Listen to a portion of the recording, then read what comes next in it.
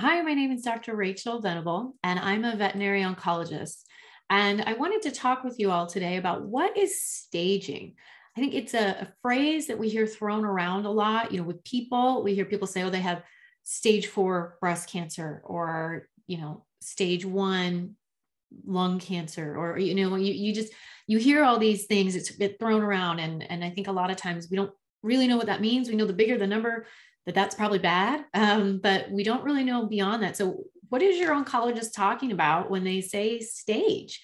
So, today I'm going to go in more detail about what is stage, just so you have a better understanding. And actually, even though I'm a, a veterinary oncologist, and so we're going to focus on animals, but staging this is again something in people so can actually you know kind of kill two birds with one stone today, right? You can learn more about animals, but you can learn about people as well. And hopefully it's information you're never really going to need. But if you do, unfortunately, have a pet or someone you know that has cancer, you know, it would be good if you knew what staging meant. So staging is basically to see where else in the body there could be disease. So is has it spread? You know, that's usually the big thing. And there depends on the cancer as far as where the tumor may go.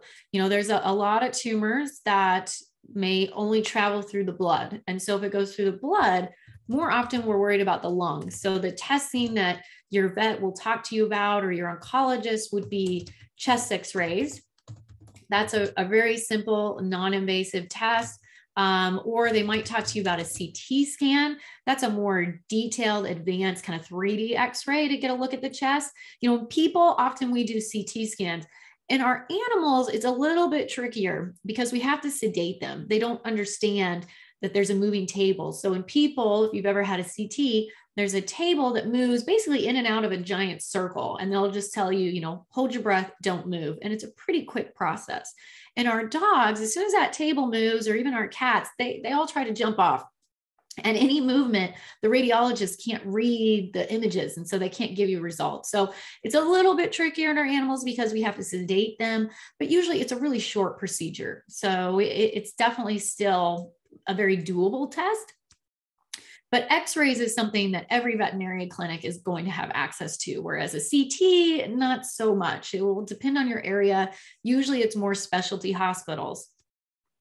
The other place that will look a lot is the local lymph nodes. So, so depending on the tumor, if it spreads through the lymphatics, then it could go to the regional lymph nodes. And that's one of the first places we could see it. And again, this is something we hear a lot in people. You hear it like with breast cancer, they talk a lot about the lymph nodes or colon cancer, all, all different types, because they want to check those lymph nodes. And our dogs and cats, again, it depends on the tumor type, but they may go through the lymph nodes and potentially the lungs as well. Um, it, it's not very often that it would only go through the lymph nodes and couldn't go through the lungs. That that situation doesn't happen too much. What more is a situation that you want is that it hasn't spread at all. And so you check those areas and hopefully it's all negative. But if it's not, that is going to change what treatment and testing and prognosis you're going to do down the road. And so to check the local lymph nodes, normally it's uh, pretty non-invasive. It's called a, an aspirate and cytology. So an aspirate, what we do is we take a small needle, like what we used to collect blood, we poke in the lymph node, and then we're able to look at those cells on a slide under the microscope. And so your vet would send that out to the lab, and then a pathologist there would look at those slides and see, okay, are these normal lymph node cells or are we seeing some tumor cells in here? Sometimes we end up actually having to do a biopsy or removal of the lymph node. Um, that would certainly let you know 100% if there's any disease in there. And it can also be a treatment. But sometimes removing the lymph nodes can be a more advanced surgery, or we worry, could that, you know, is that more than what really needs to be done? So generally, we'll start with that simple needle aspirate and go from there. But your vet or your veterinary oncologist may talk with you about just removing that lymph node depending on where the tumor is or the, the high level of suspicion they may have if there's disease there. So those are really the, the big areas that we'll check. Sometimes we'll look at other organs um, like liver and spleen could sometimes be involved. Sometimes with tumors, you know, depending where in the body, we may need to do more advanced imaging to even see the local lymph nodes. So other things you might hear your vet or your veterinary oncologist. So they may talk with you about doing an abdominal ultrasound. They may talk to you again about that CT scan.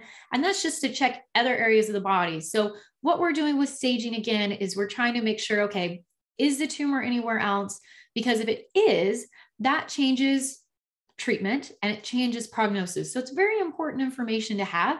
And it's also really important that you understand what your vet and your veterinary oncologists are saying to you and helping, you know, what they're trying to describe. So just remember if your pet is diagnosed with cancer, just try to get that information from your vet or your vet oncologist as far as, okay, is the disease anywhere else? What testing do we need to do? And remember to always check us out. You can go to our website at petcancercareconsulting.com. And remember, we can partner with your family vet. So we can also provide oncologists to help give you more information about your pet's cancer, testing, treatment, prognosis. And we can also follow along with your vet as far as providing any protocols they may need or follow up as well.